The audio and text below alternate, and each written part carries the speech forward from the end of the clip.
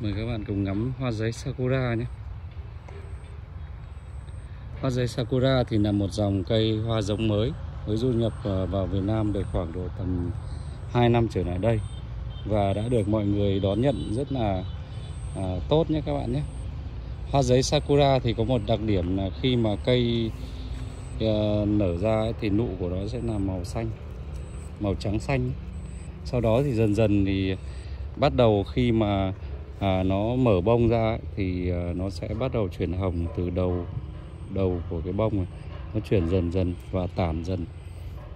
À, sau khi mà hồng hết như này hồng rực thì bắt đầu cây nó sẽ hết hoa. Đặc điểm mà mọi người thích ở sakura đấy là hoa giấy. Thì sakura rất là siêng hoa. À, ra hoa hết đợt này đến đợt khác và riêng cái dòng hoa này thì các bạn không cần phải cắt nước nhé.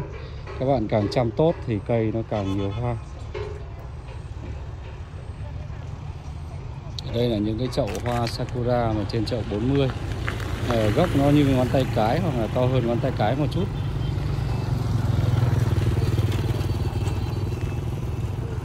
để cửa sau ừ cái này đi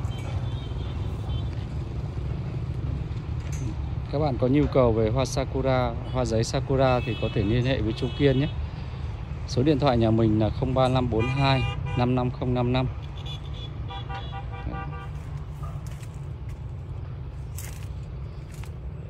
này, này cực kỳ siêng hoa. Dòng nguyên bản thì hiện thời như ngón tay cái và ngón chân cái này. Cây này nó cao khoảng độ tầm 1m đến 1m2, bóng nó khoảng 1m đến 1m2 nhé.